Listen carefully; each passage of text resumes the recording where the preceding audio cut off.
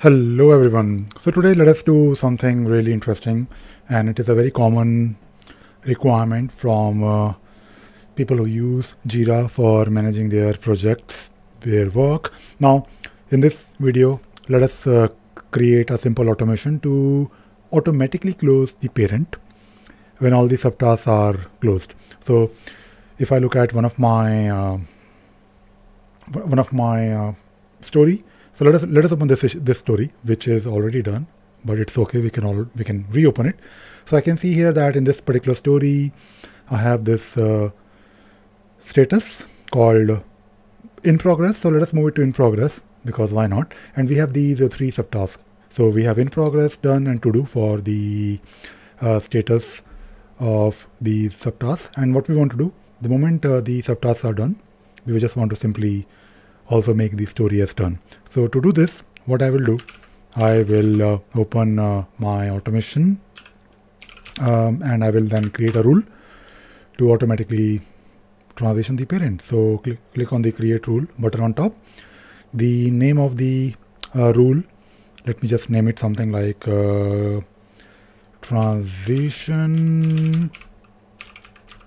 parent from subtask and the scope is uh, Android 2.0 and this is uh, looking good. The trigger, now the trigger is that we want to do it on a transition for uh, the subtask.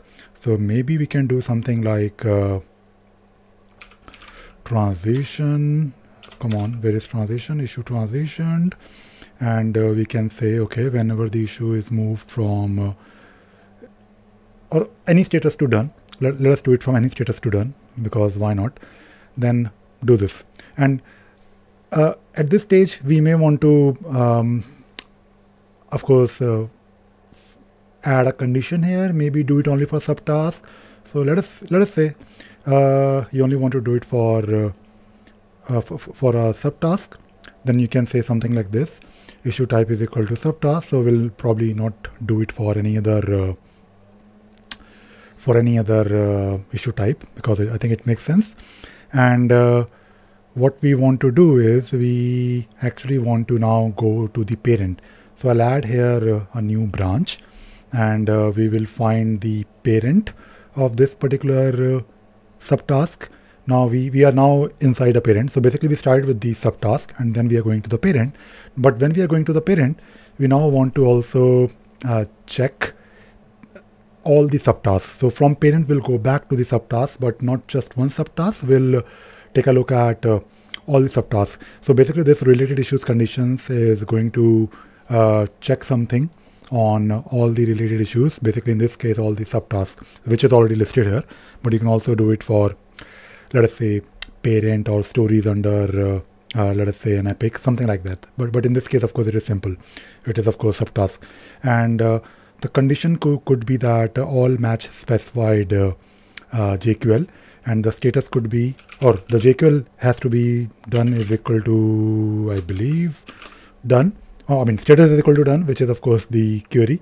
And if I want I can of course check it for uh, uh, I mean this is a valid JQL and this looks good but of course we are going to do it only for those uh, individual. Basically what we'll do the moment you the what this rule will do, let us say you transition this uh, issue, this subtask to done, then the rule will go back to the parent and then the rule will uh, check the status of all the subtasks under it. So uh, this is interesting, right? then uh, if that happens, then you simply need to make sure that you transition the issue. Simple, right? So you, you can say uh, if all the subtasks are uh, done, then transition my uh, parent to done. And uh, maybe maybe we want to add a comment because why not? It is always good to uh, do we have a comment here? No not here. Uh, we need to basically add a comment separately. So let us let us just save it first and then uh, uh, I'll probably add one more option here. Comment on issues and all subtasks are done.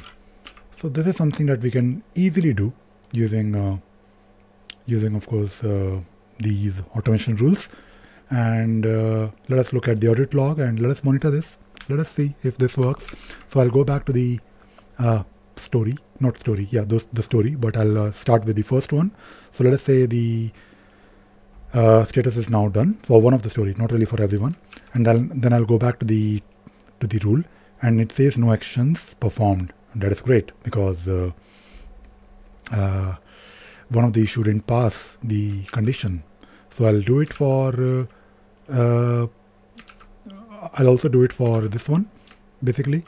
Uh, the, the next subtask, I'll move it to done and I'll take a look at the uh, rule audit, audit log and now it says success. So basically did something and it says comment added and of course uh, the, the issue is transition.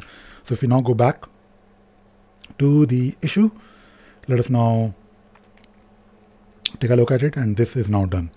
And this is of course wonderful, right? Because uh, we are doing it automatically and there is also a comment added.